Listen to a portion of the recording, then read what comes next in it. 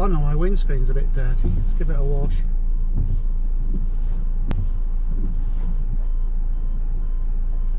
It's into the sun, so it'll be silhouetted a bit. This is Darsham. I've got family from round this way. Can't remember who it was. Years and years ago, lived on a farm in Darsham. Oh, here we go. Is it one that's going to stop? We always play a game, which direction and how many carriages. I can't do it now because I can see the bugger. One, two. that was a biggie.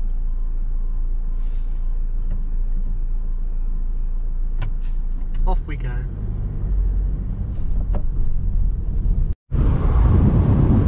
Would you look at the colour of that sky?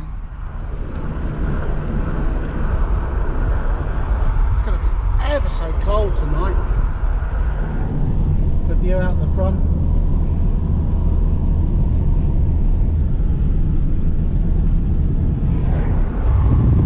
That's just absolutely stunning.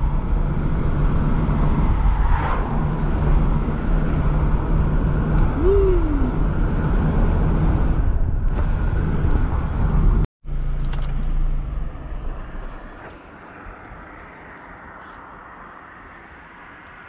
Those are the electricity pylons that take the power away from Sizewell Nuclear Power Station. And I did say nuclear and not nuclear. wow.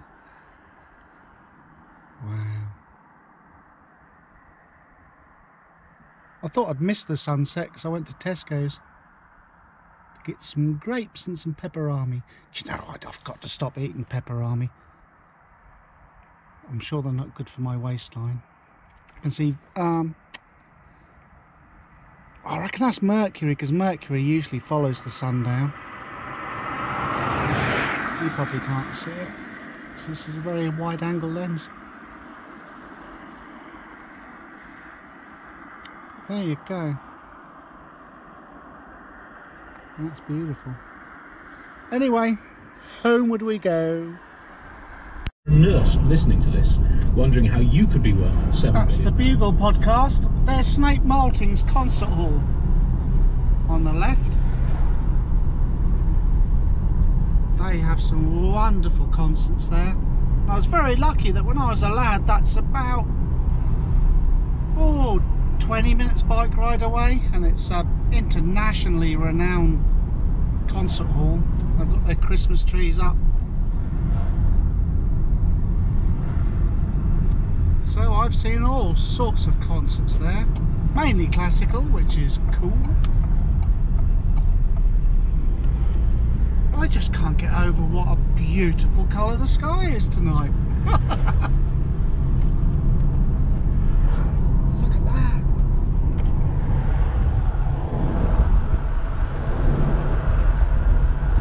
Well, I say tonight, this is the trouble this time of year. It's 19 minutes past four. It's already almost pitch black. You know, I think if I had loads and loads of money, I'd stick around England till Christmas. Because Christmas in England is good.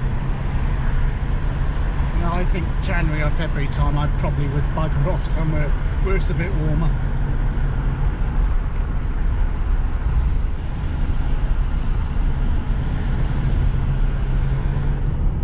It's getting quite dark now. Mr. Moon is up. Anyway, that's the most exciting thing that's happened to me today. Ta-ta! Bye-bye! Do you know, I'm still in my hire van because my Vauxhall Vivaro is still in for repairs. I don't know why it's taken nearly two weeks to source a spring, but there you go. My on this transit. Now, I've never ever been a snob, and I've never thought that VW or German cars are inherently better than anyone else's or anything like that.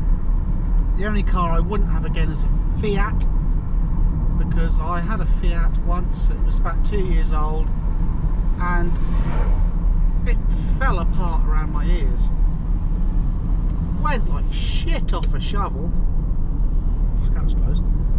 But this transit is so bumpy it's giving me backache. The suspension isn't great and I'll show you now. Oh, I can't. Here come another car. That's full beam. Fuck me, a Firefly in a jam jar would be brighter than that.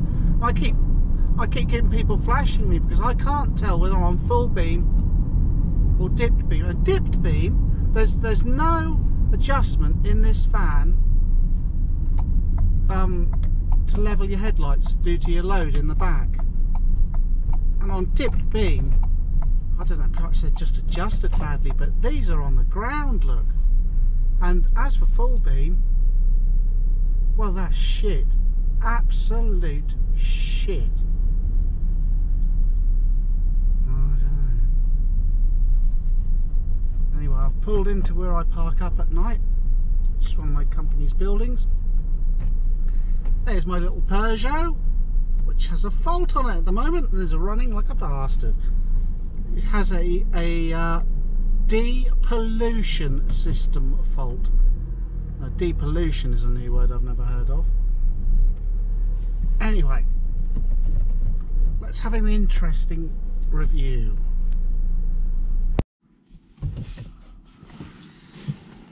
This review is called Vape versus Fags. Now I gave up smoking and I went cold turkey with nothing about oh, 18 months, nearly two years ago.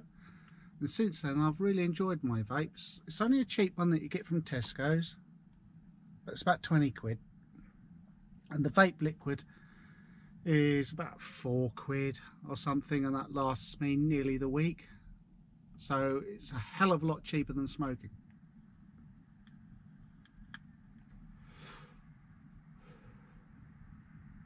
I don't mind that at all. Adam from Adam and Val is an expert on vaping. The Adam and Val YouTube on podcast and the YouTube channel. But the other day I got about 20 miles from home and I realised I'd forgot my vape. I thought, can I go a whole day? I got to about two o'clock and I really felt the urge. And it's Christmas time, which is when I usually have a cigar or two anyway. So I went to Tesco's Express and bought 20 Marlboro Red. Harsh cigarette, I knew, but that's what I used to smoke, really harsh cigarettes. Because a new vape and liquid would be 25 quid and I thought shit I don't want to spend 25 quid just to get me out of this nervous hole I've got myself into which is all psychological I suppose although I suppose nicotine is a chemical addiction but so I bought 20 Marlboro. Well that was nearly two weeks ago and I've still got six left and I've thought well I'll keep them and I'll smoke them a bit one by one. But I don't like them as much as I remember.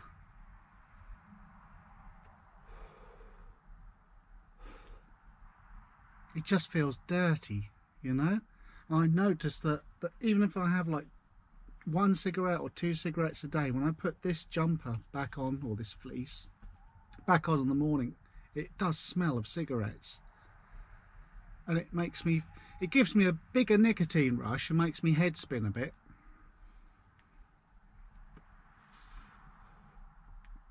But I've been taking a few puffs and just putting them out actually.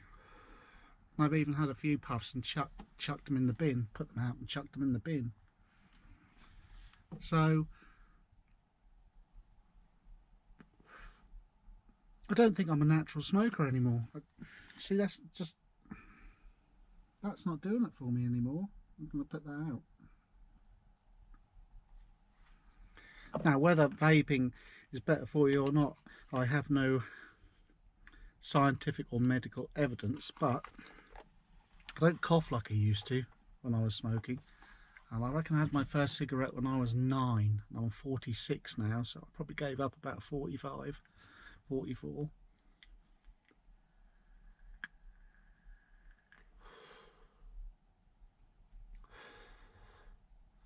I just find vaping a bit purer. It gives me a little nicotine hit that my, obviously chemically my body craves, but it doesn't make me feel like crap. And those, hmm, good job I went for Marlboro Red actually, because if I'd gone for something really mild, I might have got back into the habit. So I keep these cigarettes in my van, don't smoke in the van, but I don't really miss smoking, to tell you the truth. But I was always a roly guy and I didn't want to buy a big pouch of roly backer because that would last me for well a mm, couple of weeks almost. And I didn't want to go down the route of being a couple of weeks smoking but it has been because I haven't really enjoyed them to tell you the truth.